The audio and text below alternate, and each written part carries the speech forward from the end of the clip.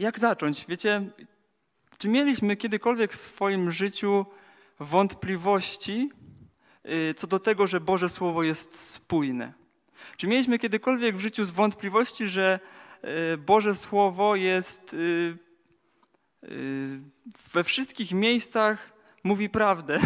Jakby to przedstawić? Czy mieliście jakiś taki moment, że czytaliście dwa różne fragmenty Bożego Słowa i przyszło wam do głowy taka myśl, one mówią przeciwko sobie. Nie wiem, miał ktoś z was? Ja miałem takich sytuacji wiele w swoim życiu i, i muszę powiedzieć szczerze, że wiele razy traciłem wiarę po prostu w y, Boże Słowo, w Jego nieomylność, y, w to, że jest to natchnione Boże Słowo, że jak jest napisane całe Pismo jest natchnione przez Boga i pożyteczne do nauki, do strofowania, do poprawiania, do wychowywania w sprawiedliwości, nie? Tak mówi Boże Słowo. I wiecie, miałem czasem takie wątpliwości, czy to jest prawda, że Boże Słowo jest spójne. Miałem czasami dwóch różnych apostołów i trochę dzisiaj będę chciał o tym powiedzieć, y, zmierzać w pewnym kierunku, którzy miałem wrażenie, że stoją jakby naprzeciwko sobie i się ze sobą kłócą. I to, co mówią, to jest po prostu jakiś, yy, jakaś hipokryzja biblijna. Yy, I dzielę się też tym dlatego, to do czego będę chciał dzisiaj dążyć, ze względu na to, że jakiś czas temu, y, w zasadzie już od samego początku mojej służby w młodzieży, mamy taki słoik y, w młodzieżówce y, pytania, wątpliwości, niejasności. I przez długi czas nic się tam nie działo, nic się tam nie działo, a po wyjeździe do Laskowa, a później po jeszcze jakichś tam młodzieżówkach, pojawiło się tam jakieś dwie karteczki i wiecie, obie karteczki były w zasadzie, miały to samo pytanie i wiecie, jedna brzmiała tak dość konkretnie, czy Paweł i Jakub wierzyli w tą samą Ewangelię? Nie wiem, czy już niektórzy być może wiedzą o co chodzi. Yy, ja tak mocno zderzyłem się z tym pytaniem w swoim życiu, że od razu, wiecie, mógłbym na nie odpowiedzieć, pójść na młodzieżowe, od razu wszystkim powiedzieć i tak w zasadzie było. Yy, ale też pomyślałem, gdzieś tak Pan Bóg kierował mnie, że może warto yy, zderzyć się wspólnie razem jako Kościół tutaj na tym miejscu z tym z tą wojną, z tą bójką, ja to tak sobie nazwałem, y, Jakuba i Pawła. Y, zaraz, zaraz przejdziemy dokładnie, o co, o co dokładnie mm, chodzi. A dlaczego też jeszcze tak myślę? Kiedyś, jak byłem na misji y, Generacji Plus, to było w Czeladzi, byliśmy tam na mieście, usługiwaliśmy, robiliśmy różne rzeczy i wiecie, z rana zawsze były takie akcje wyjść na miasto, mieliśmy na przykład takie bilety do nieba, dawaliśmy te bilety do nieba i jakoś tam zawsze zagadywaliśmy, żeby spróbować coś porozmawiać z ludźmi. I kiedyś, no, chcąc, nie chcąc, szczęście w nieszczęście spotkałem się y, z takim zagorzałym, powiedzmy, ateistą, który jakby nie jest tylko ateistą, bo nie wierzy w nic i robi co chce, tylko jest po prostu ateistą, bo jest ateistą i w nic nie wierzy. Yy, I spotkałem takiego ateistę, wiecie, on miał mnóstwo argumentów, mnóstwo słowa, mnóstwo chciał mi powiedzieć, ale pamiętam takie yy, zdanie, które powiedział, że, yy, że przeczytał całą Biblię wiele razy i uważa, że Biblia jest niespójna co do życia i śmierci, uczynków i wiary. Tak mi wtedy powiedział, utkwiło mi to w głowie. I, I, wiele też myśli później mi przyszło, kiedy usłyszałem te zdania, bo sam się w tym, z tym wiele razy w życiu zmagałem. Więc, y, więc stąd gdzieś się bierze to słowo. Mm, a więc czy Paweł i Jakub wierzyli w tą samą Ewangelię? To jest to pytanie. Y, skoro całe pismo jest natchnione i pożyteczne do nauki, tak, do tego tematu będziemy zdążać, do uczynków wiary, o których mówi apostoł Jakub, ale na sam początek chciałbym przejść przez taką myśl, czy oni faktycznie wierzyli w to samo, kochani. I najpierw otwórzmy sobie krótko te dwa fragmenty, ja je szybko przeczytam bez żadnego kontekstu, bez niczego, żeby pokazać skąd wzięło się to pytanie, skąd we mnie osobiście kiedyś wzięło się to pytanie i skąd myślę, że wzięło się to pytanie w kilku młodych osobach, skąd może brać się to pytanie w ludziach, których być może nawet przyprowadzimy kiedyś do kościoła i którzy zaczną czytać Boże Słowo i którzy nie do końca jeszcze będą wiedzieć, nie roz, będą rozumieć. Może czasem warto wiedzieć, że na przykład są takie miejsca w Biblii, które dla kogoś mogą wydać się na pierwszy rzut oka kontrowersyjne. Y, chciałbym, żebyśmy otworzyli sobie najpierw list Jakuba. Skoro Jakub to Jakub. W ten sposób wypełniły się słowa pisma. Abraham uwierzył Bogu i uznano mu to za sprawiedliwość. Został też nazwany przyjacielem Boga. Wie, wiedzcie więc, że człowiek zostaje usprawiedliwiony dzięki uczynkom, a nie jedynie dzięki wierze. I teraz szybko przejdźmy do listu do Rzymian, kochani, żeby zderzyć się z pewnymi myślami. E, list do Rzymian myślę, że bardzo mocno ostatnim czasem gdzieś tutaj głoszony, e, u nas młodzieżowym, na młodzieżówce też. A więc list do Rzymian i czwarty rozdział od pierwszego do piątego wersetu. Moglibyśmy zapytać, co zatem osiągnął Abraham, nasz praojciec według ciała. Jeśli Abraham został usprawiedliwiony dzięki uczynkom, to ma powód do chluby. Jednak nie tak było między Bogiem a nim. Bo co czytamy w piśmie? Abraham uwierzył Bogu i to mu uznano za sprawiedliwość. Jeśli ktoś pracuje, nikt mu wynagrodzenia nie poczytuje za łaskę. Ona mu się należy. Kto jednak nie pracuje, lecz wierzy temu, który usprawiedliwia bezbożnego, temu wiarę uznaje się za sprawiedliwość. I chodzi mi tylko o tą właśnie różnicę, że wiecie, na pierwszy rzut oka, kiedy zderzamy się czasem z Bożym Słowem, być może czytamy y, trochę szybko Boże Słowo, a być może naprawdę czasem nie rozumiemy, bo ja nie czytałem tego szybko, czytałem to kiedyś wolno, a i tak nie rozumiałem, i tak zawsze myślałem, że Jakub, a w zasadzie ja zawsze uważałem, że wszyscy apostołowie spoko, ale Paweł i list do Rzymian to chyba trochę przesadził. I, i wiecie, na pierwszy rzut oka naprawdę te fragmenty pokazują. Jakub pisze, że usprawiedliwieni jesteśmy na podstawie uczynków, nie jedynie wiary.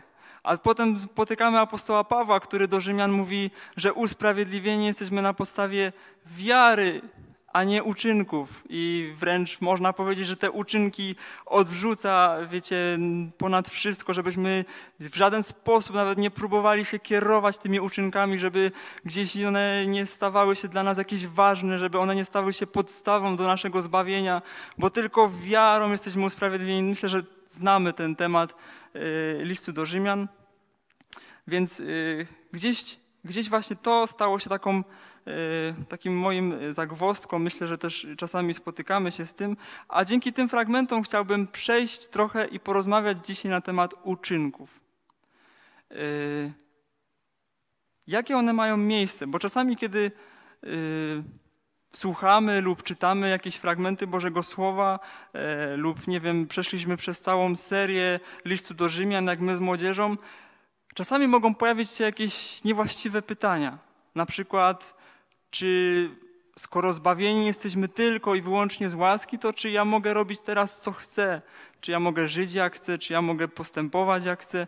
Czasem takie pytania mogą się w nas e, rodzić i chciałbym dzisiaj trochę powiedzieć na temat tych uczynków, a przede wszystkim właśnie na temat uczynków wiary, do których będę dążył, do których będę się starał dojść dzisiaj. E, mam nadzieję, że e, uda nam się w jakimś czasie. To, co jest dla mnie podstawą, to chciałbym w tych fragmentach teraz przejść powoli już przez te fragmenty, nie szybko, znowu przez te same, ale skupić się jakby już na e, stricte kontekście e, rodzaju uczynków, bo będziemy trochę chcieli przez takie, taką myśl przejść i pochodzenia tych uczynków.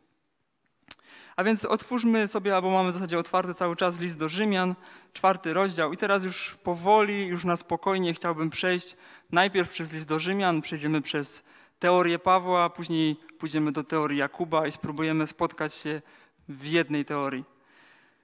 A więc y, jeszcze raz, moglibyśmy zapytać, co zatem osiągnął Abraham, nasz praojciec, według ciała. Jeśli Abraham został usprawiedliwiony dzięki uczynkom, to ma powód do chluby. Jednak nie tak było między Bogiem a nim. Bo co czytamy w piśmie? Abraham uwierzył Bogu i to mu uznano za sprawiedliwość. Nie wiem, czy pierwsza ciekawostka dla każdego z nas, to i Jakub, i Paweł użyli tego samego cytatu. To jest taka, nie wiem, będziemy też jeszcze drugi raz przechodzić przez list do Jakuba, to zobaczymy, że jest dokładnie ten sam cytat użyty do wydaje się trochę innego stwierdzenia, ale do tego jeszcze też dojdziemy. Jeśli ktoś pracuje, nikt mu wynagrodzenia nie poczytuje za łaskę, ona mu się należy. Wiecie, apostoł Paweł, myślę, że bardzo dużo o tym było mówione i na tym się dzisiaj trochę mniej skupię, ale apostoł Paweł jakby pisząc do Rzymian, chcę ponad wszystko, aby każdy z tych ludzi, którzy od, przeczytają ten list do Rzymian, zrozumieli, że nasze zbawienie jest tylko i wyłącznie z łaski.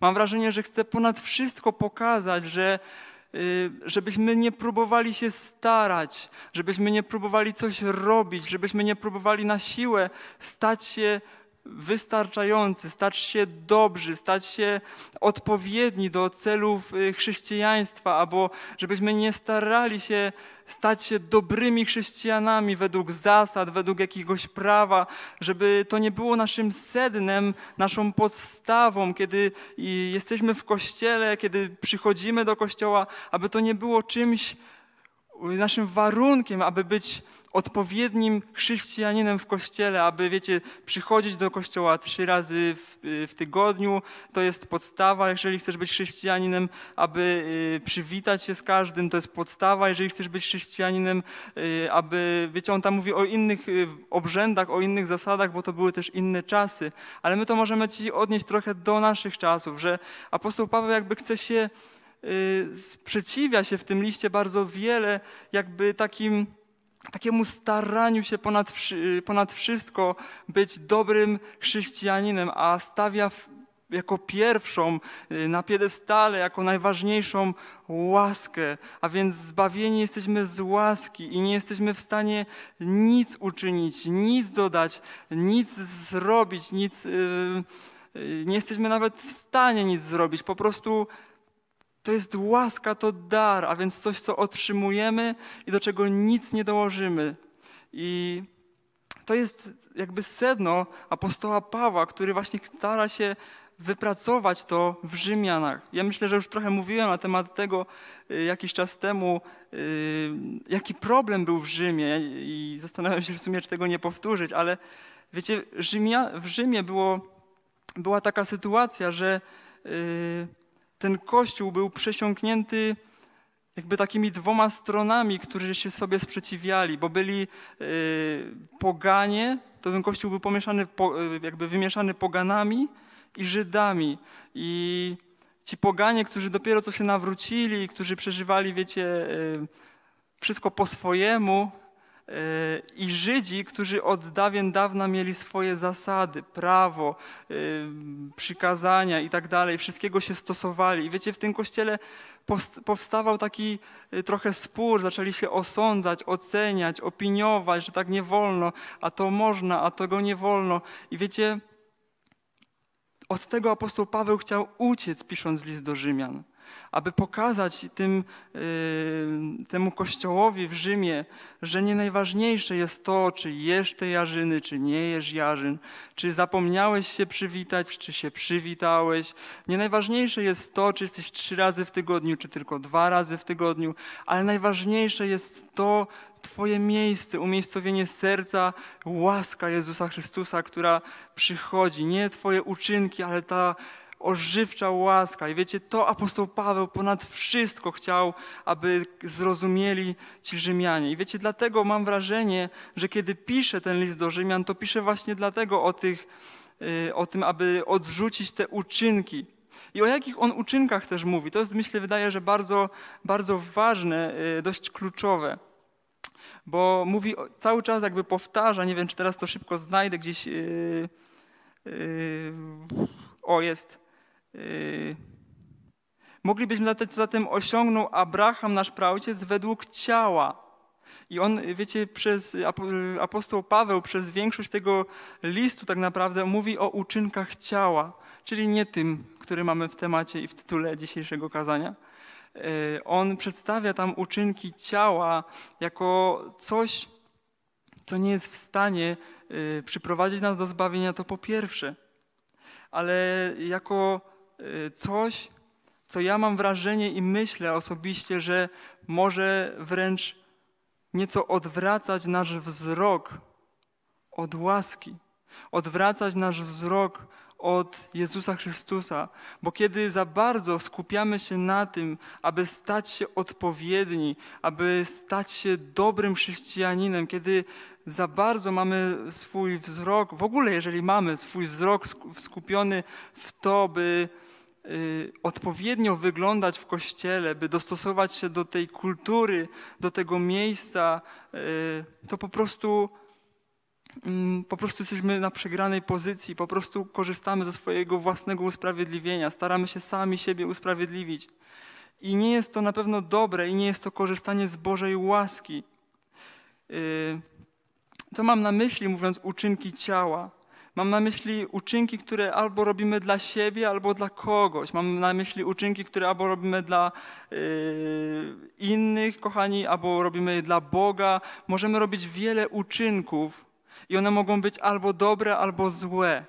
Ale jeżeli one pochodzą z naszego ciała, a więc z naszych przyzwyczajeń, a więc z naszego środowiska, z którego się wywodzimy. Czyli zachowujemy się mniej więcej tak, jak mnie nauczono, jak, nie wiem, wyuczyłem się na boisku przed szkołą i tak dalej, i tak dalej. Albo zachowujemy się i moje uczynki pochodzą y, z mojego wychowania, a więc wychowano mnie do tego, abym był taki i taki i tak się zachowuję i tak się staram zachowywać albo z moich ambicji mogą wychodzić moje uczynki, ponieważ y, tak zależy mi na czymś, nie wiem, na stanowisku, na pozycji w życiu, na czymkolwiek, że z tych ambicji rodzą się pewne uczynki, pewna droga tych uczynków, która w jakiś sposób stara się mnie wypromować y, z kultury, ze środowiska, y, z naszego charakteru, z jakiejś wiedzy, którą pojęliśmy, którą poznaliśmy. Z tego wszystkiego mogą wywodzić się nasze uczynki.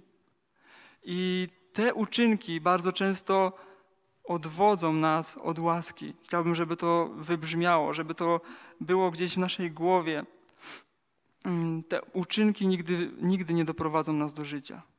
Nigdy nie zaprowadzą nas do miejsca y, Golgoty, nigdy nie zaprowadzą nas do miejsca Y, pokuty, te uczynki będą nas ciągle prowadzić do samousprawiedliwienia. I powiem coś z siebie, ze swojego świadectwa y, odnośnie uczynków. Myślę, że nie wiem, czy to mówiłem na tym miejscu ostatnio, ale y, chciałbym, żeby, żeby każdy z nas to mógł też usłyszeć w tym miejscu, w tym momencie. Ja byłem nauczony być dobrym chrześcijaninem byłem nauczany, że muszę czytać słowo dwa razy dziennie. Byłem nauczony, yy, że muszę się modlić. Byłem nauczony, że mam chodzić do kościoła. Powiedziano mi, że muszę to robić, że mam to robić, jeżeli chcę być chrześcijaninem. To nie jest dobra droga. To jest zła droga. I myślę, dzielę się też tym dzisiaj dlatego, że wierzę, że Pan Bóg będzie chciał przez każdego z nas robić wielkie rzeczy, robić przebudzenia, yy, głosić innym Ewangelię. Amen? Amen. I chciałbym, żebyśmy mm, jako Kościół nie zachęcali ludzi do dobrego, do bycia dobrym chrześcijaninem Abyśmy przyprowadzając być może kogoś do kościoła, ewangelizując kogoś na ulicy, nie przyprowadzali do kultury chrześcijaństwa. Nie uczyli go albo nie strofowali, że masz być taki i taki, bo tak robią w kościele, bo tak robią chrześcijanie, bo tak mówi Bóg. Bo nauczymy i przyprowadzimy człowieka do, nie do Jezusa Chrystusa, ale do kultury do kultury chrześcijaństwa, w której on nigdy nie zmierzy się z żywym Bogiem. Albo, be, albo kiedy się z nim zmierzy, to będzie się musiał naprawdę jeszcze przejść przez te wszystkie rzeczy, które ja musiałem przejść. Bo przyszedł taki moment również w moim życiu, kiedy wyuczony chrześcijaństwa wydawało mi się, że jestem dobrym chrześcijaninem, ale w pewnym momencie się zmęczyłem, bo nie mając przed sobą yy, takiego nie mając przed sobą celu, jakby nie mając przed sobą. Mm, no tak, w zasadzie nie mając przed sobą takiego celu, tylko idąc po prostu tak jak wszyscy, ja to później pokażę, tu będą takie jeszcze dzisiaj scenki. Yy, idziemy później tak trochę po omacku, nie, nie widząc celu, nie widząc tej łaski, którą daje nam Jezus Chrystus, tylko starając się być tacy jak inni, po prostu się zmęczymy i kiedyś się w końcu zmęczymy Kościołem. Zmęczymy się, bo nie będziemy mieć celu, który przeprowadzi nas przez trudną sytuację. bo nie będziemy mieć siły i pragnienia przechodzić przez te sytuacje, bo nie będziemy wiedzieć po co. Nie będziemy wiedzieć dlaczego. Kochani, i chciałbym podsumować te y, myśli apostoła Pawła odnośnie tych uczynków ciała y, historią bogatego młodzieńca, a więc y, chciałbym, abyśmy otworzyli sobie Ewangelię Mateusza, 19 rozdział. Wtem ktoś podszedł do Jezusa i zapytał: Nauczycielu, co dobrego mam czynić, aby posiąść życie wieczne? A on mu odpowiedział: Dlaczego mnie pytasz o dobro? Jeden tylko dobry. Jeśli natomiast chcesz posiąść życie, przestrzegaj przykazań. Których? Zapytał. Tych usłyszał: Masz nie zabijać, nie cudzołożyć, nie kraść, nie poświadczać nieprawdy, szanować ojca i matkę oraz masz kochać swojego bliźniego jak siebie samego. Młody człowiek oświadczył: To wszystko wypełniłem. Czego mi jeszcze brak? Wówczas Jezus powiedział: Jeśli chcesz być doskonały, idź, sprzedaj co masz i rozdaj ubogim, aby mieć skarb w niebie, a potem przyjdź i naśladuj mnie. Po tych słowach młody człowiek odszedł zasmucony, miał bowiem wiele posiadłości. Kochani, bogaty młodzieniec, a więc myślę człowiek, do którego list, apostoł Paweł pisał ten list do Rzymian. Kochani, to jest człowiek, który był wyuczony zasad, tak wychodzi. Był wyuczony y, postępować tak, aby mógł być uczniem Jezusa Chrystusa. I na pierwszy rzut oka, tak sobie myślę, gdyby chodził razem z tymi apostołami każdego dnia, to niczym by się nie różnił, bo zasady miał y, spójne z nimi. Można powiedzieć, że zachowanie byłoby być może nawet lepsze, bo e, apostołowie, w sensie uczniowie y, w tamtym czasie czasami zawalali, a może on by akurat nie zawalał, nie? On akurat był wyuczony świetnie zasad, więc może nawet byłby lepszym uczniem niż wszyscy ci dwunastu, i świetny człowiek wydaje się do służby, wydaje się y, po prostu no, doskonały do takiego miejsca, bo wzór tylko puścić, aby go wszyscy naśladowali. Ale okazuje się, że Pan Jezus, jakby znając sedno, znając y, klucz, jaki potrzebuje, aby miał człowieka y, przy sobie, a znając jakby klucz Y, łaski tak naprawdę, idąc dalej, już to, co się ma wydarzyć później na krzyżu, mówi, mówi do niego jasno. To skoro to wszystko przestrzegasz, skoro to wszystko robisz, to jeszcze jeden uczynek ci został. Jeszcze musisz tylko i wyłącznie sprzedać wszystko, co masz, rozdać ubogim i iść za mną.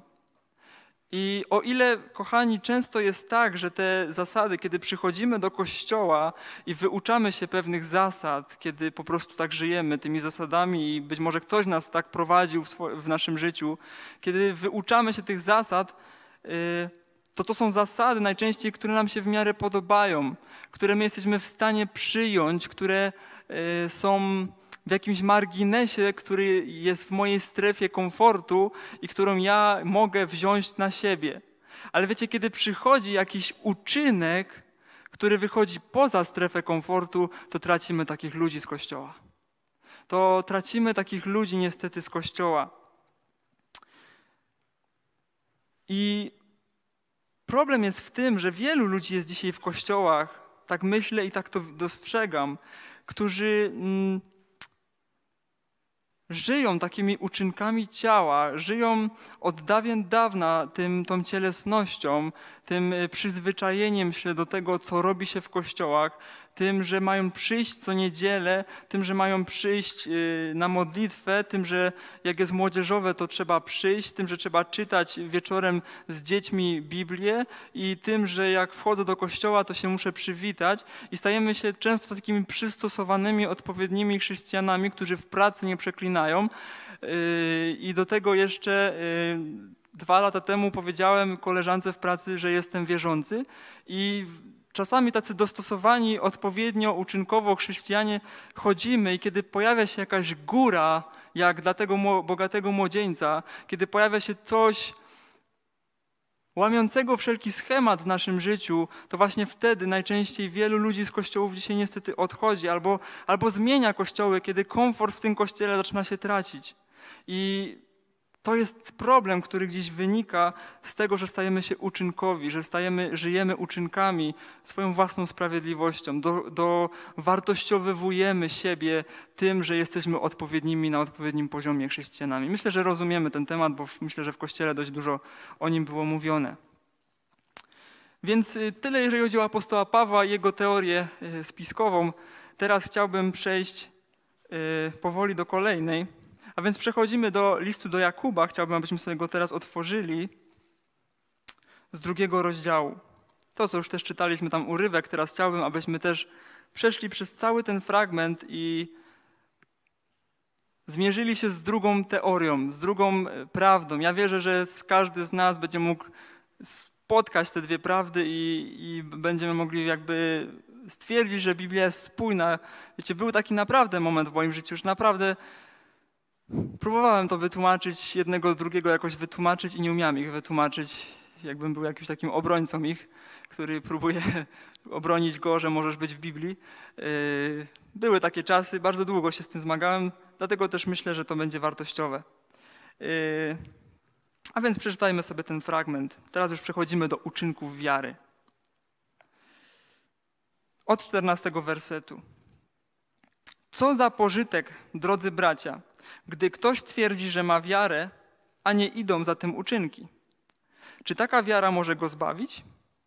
Na przykład brat lub siostra nie mają w co się ubrać, codziennie brak im chleba, ale ktoś z, wam, z was im mówi: idźcie w pokoju, ogrzejcie się i nasyćcie, nie robiąc nic dla zaspokojenia ich potrzeb.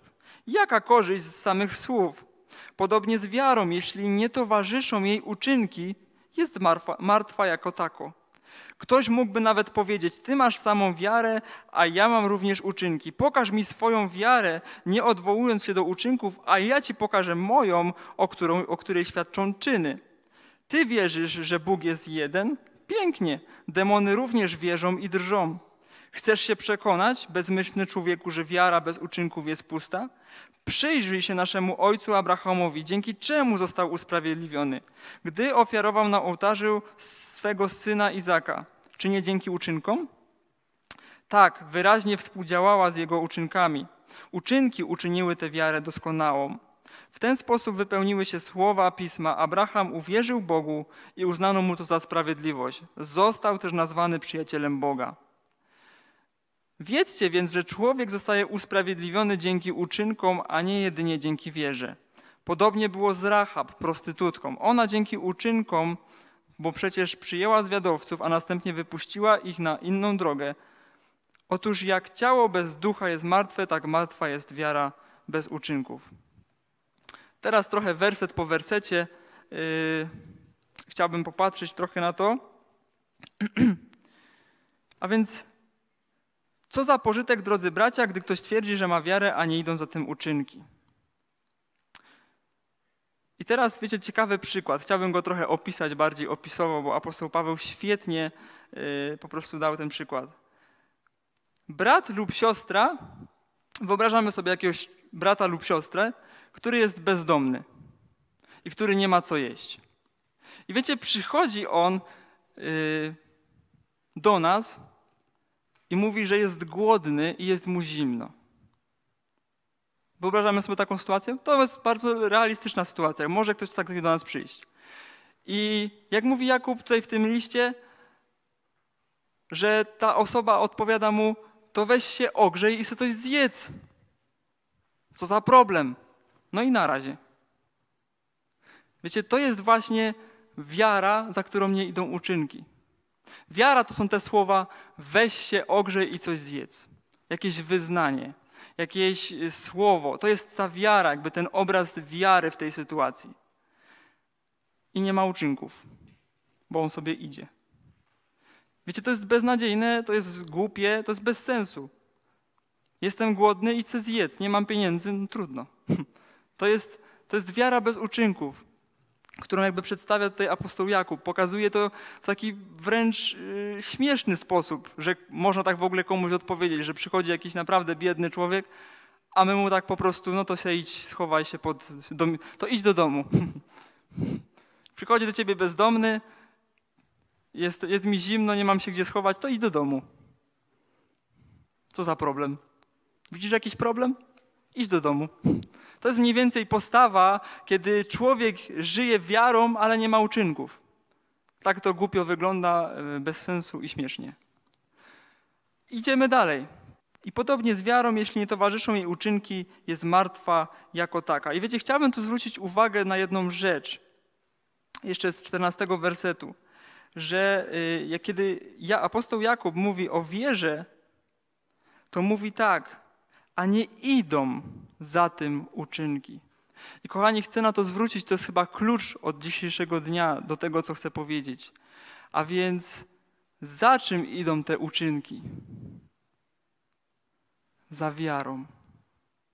Kochani, to jest ta różnica między apostołem Pawłem i to, co mówił w liście do Rzymian, a między tym, co mówi Jakub i przed czym on też przestrzega w zasadzie w swoim liście, y, że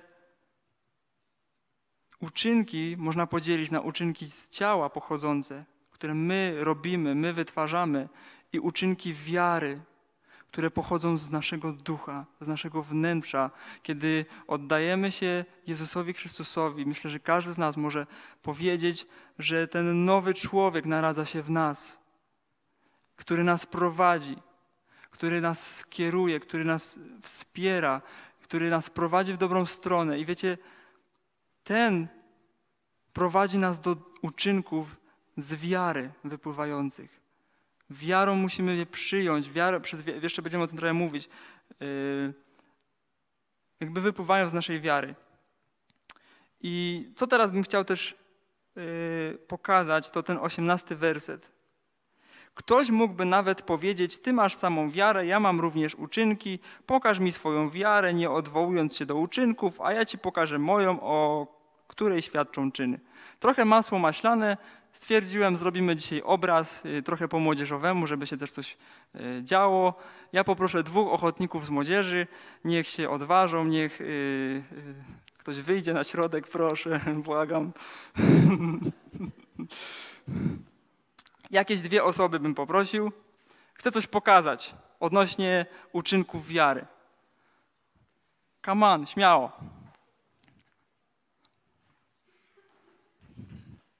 Mam nadzieję, że to w ogóle się uda, bo w mojej wyobraźni dzisiaj w domu to świetnie wychodziło. Yy... Kochani, chciałbym, żebyście wy przede wszystkim wyobrazili sobie, że tam na oknie z drugiej strony jest czekolada. Ok?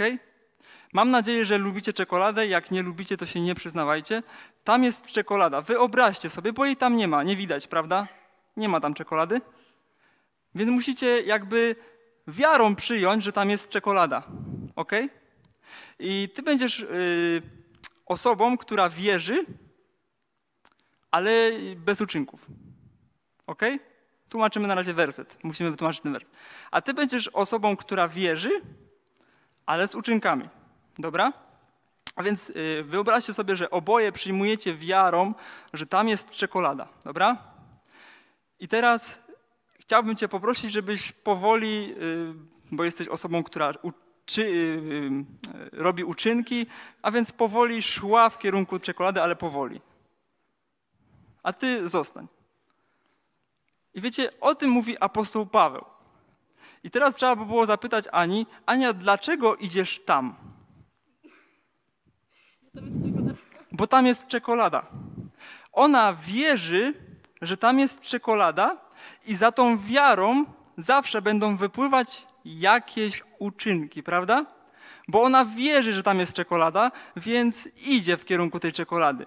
A ze względu na to, że Maciek wierzy, że tam jest czekolada, ale nic nie czyni, no to co teraz robisz? Stoi. Głupie to, nie? Czy tak się da? Wierzyć, że tam jest czekolada, lubić czekoladę i nie iść do tej czekolady? No nie da się. To jest, to jest głupie, nie? Wiadomo, że przykład z czekoladą jest trochę nieprofesjonalny i nie, nieodpowiedni. Dziękuję Wam. Ale chciałem to taki obrazowy sposób przedstawić, że, że pytanie I stwierdzenie, teraz będzie bardzo poważnie, że stwierdzenie, że skoro tak mówicie, że tych uczynków, y, mm, skoro apostole Pawle tak mówi, że tych uczynków nie ma, y, że tych uczynków nie, tylko sama wiara, to czy ja mogę robić sobie teraz co chcę, jest po prostu beznadziejne. Jest głupie samo w sobie. Bo kiedy jest wiara w coś, to uczynki są po prostu, no są. Są naturalne, są y, niczym po prostu dziwnym. Po prostu dziwne jest to, kiedy jest wiara, a nie ma uczynków. To jest stojący człowiek, który chce tą czekoladę, wie, że tam jest czekolada, ale nie idzie i nie wiadomo dlaczego. To jest, to jest po prostu dziwne. I wiecie, chciałem o tym powiedzieć też ze względu na to, że to jest jakieś niebezpieczeństwo złego zrozumienia Bożego Słowa. I mam wrażenie, że apostoł Jakub po to to w taki sposób opisuje i po to w taki sposób to pokazuje, by nie było złego zrozumienia wśród ludzi. Wiecie, w tamtych czasach były taki, y, tacy ludzie, którzy nazywali się Nikolaici, którzy y, byli wierzący, ale mieli zupełną swawolę w swoich poczynaniach, w, swoich, y, w swoim sposobie bycia, mieli taką tak zwaną wolność, bo nazywali, że są zbawieni z łaski, bo łaska, łaska i łaska. Ale wiecie, bo tak jest, zbawieni jesteśmy z łaski, ale wiecie, kiedy jest wiara w kimś tak naprawdę, nie tylko z tego, że tak mówię, bo Maciek to była osoba, która tylko tak mówiła, że wierzy, no ale gdyby faktycznie wierzyła, to by poszła, a że nie zobaczył faktycznie tej, tej czekolady, no to nie poszedł, nie? Pewnie o to chodziło. nie o to, że ci powiedziałem. Okej, okay. yy, więc pojawiają się takie yy, sytuacje, pojawiają się tacy, takie, yy, takie osoby w tamtych czasach i myślę, że dlatego przede wszystkim apostoł Jakub w taki sposób wyrażał się na temat uczynków i ich obecności yy, mm, kiedy pisał swój list. Ok, idziemy dalej. Y, później, dalszej części jakby tego fragmentu y, y, apostoł Jakub jakby mówi o takich ciekawych przykładach i chciałbym trochę przejść do tych przykładów, bo one są jeszcze bardziej obrazowe. Ale zanim do nich przejdę, to jeszcze chcę pokazać w historii bogatego młodzieńca, czym byłby ten uczynek wiary. A więc wróćmy tak szybko myślami do tej historii i popatrzmy jeszcze raz na niego. Człowieka, który potrafił czynić wszystko dobrze, perfekcyjnie, wzorowo, do pewnego momentu.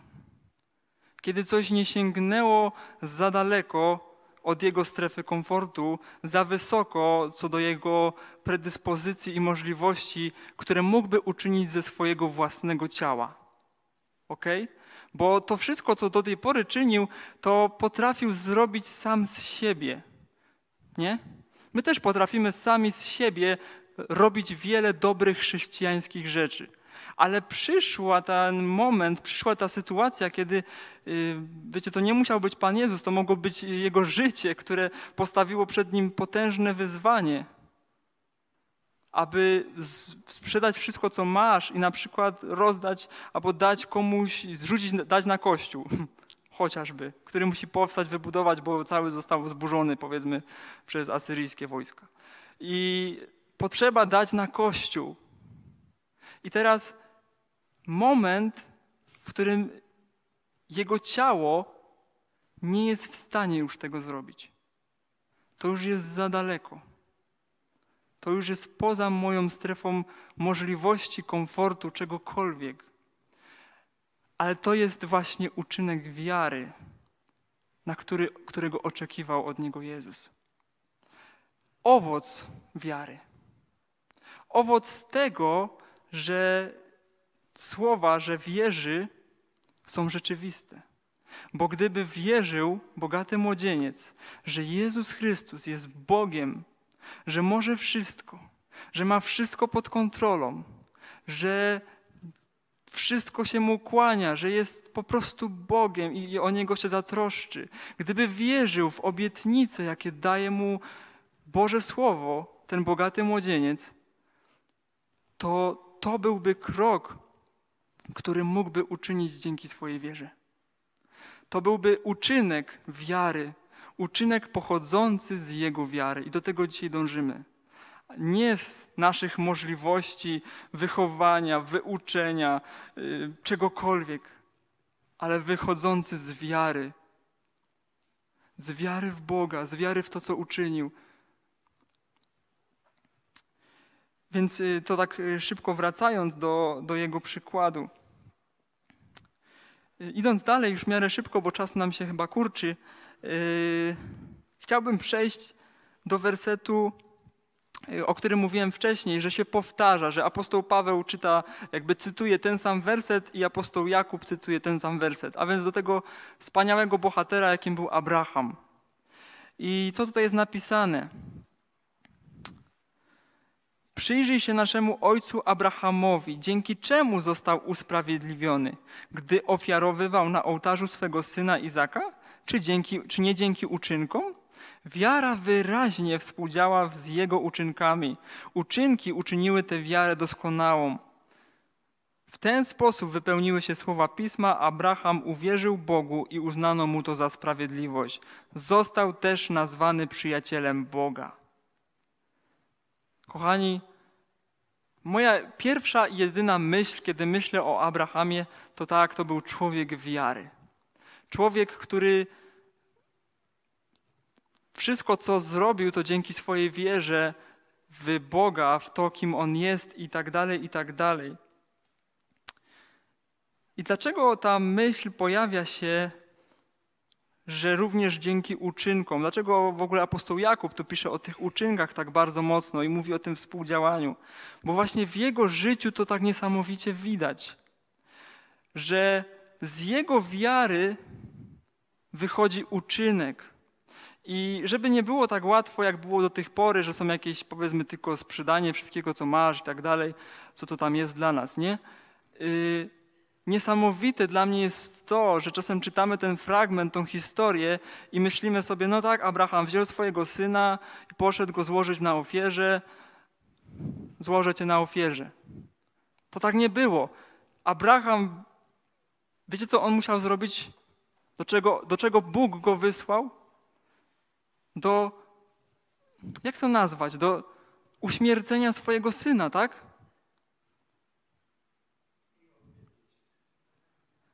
Po prostu miał go zabrać i złożyć w ofierze. Wiecie, to nie jest normalne zachowanie.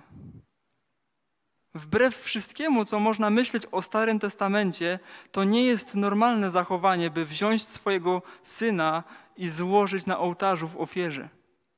To jest dziwne zachowanie. Zgodzicie się ze mną? To jest bardzo dziwne zachowanie.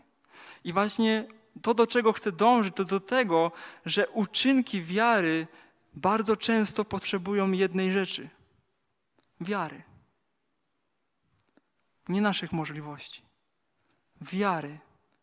Wiary, że Bóg jest wszechmogący, że Bóg wszystko może i nie rozumiem Cię, ale Tobie ufam.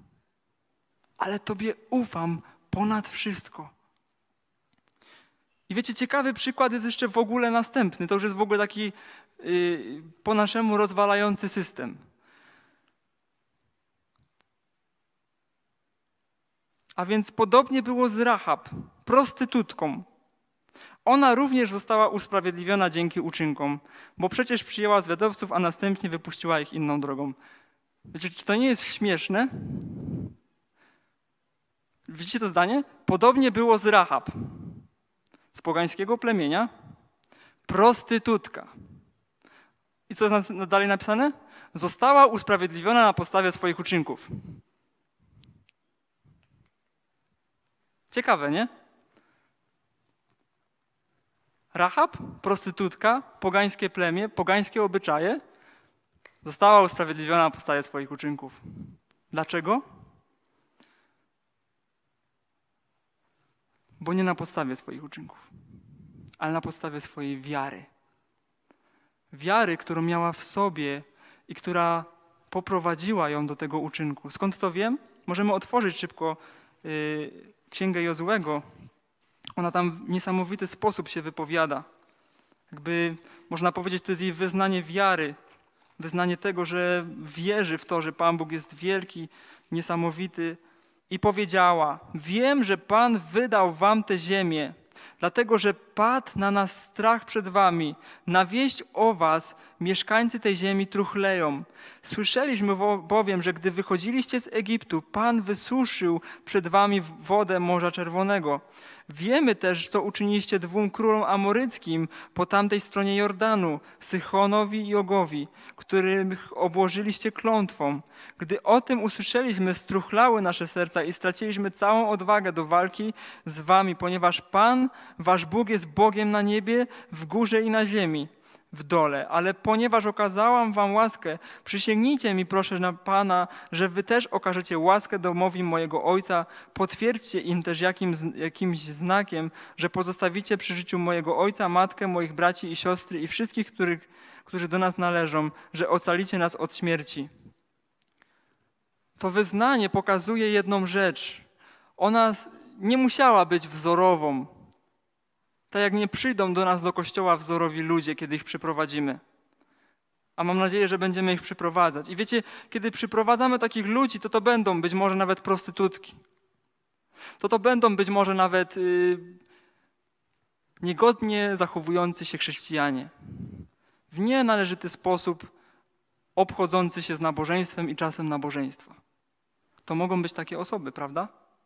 I to, co mnie ciekawi, to ten tekst.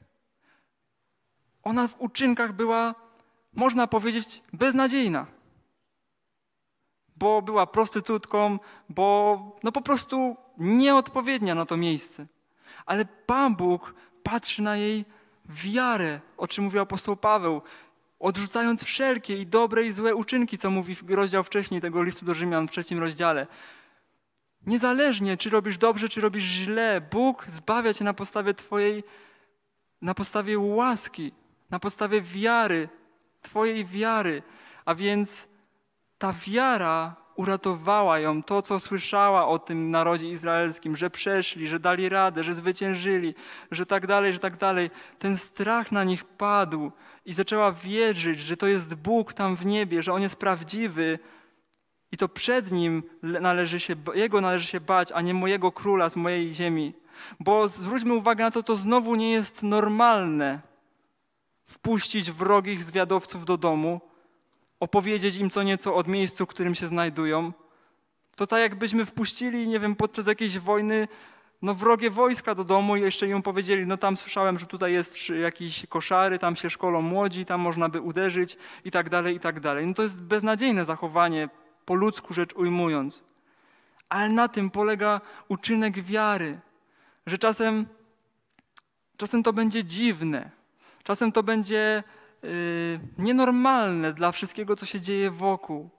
Ale jeżeli do tego prowadzi cię Bóg, jego, Twoje życie z Nim, to, to jest uczynek, do którego powinien, w, którym, w stronę, którą powinieneś pójść. Uczynek, który po prostu powinieneś uczynić z wiary wierząc, zawierzając Jemu.